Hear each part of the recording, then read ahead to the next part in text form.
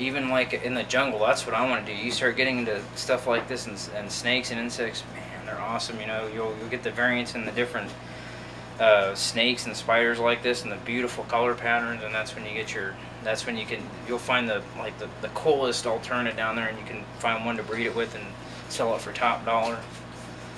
Like what's it? Remember uh, what's his name's uh, River Road? Earl. Those were cool. Those were nice. Are we ready? Yep. See, that's the kind of. So what am I supposed to be doing? Lights. You get up in here. Y'all It's cool about working. gather in the around area. now, If you're studying these kinds of things, you know that's it's real exciting. Uh, you're living in Florida now. They got everything down there. Are we?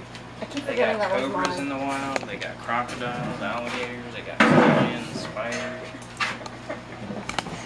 Keep looking at it, oh, that's pretty. Wait. Rent's two thousand dollars a month.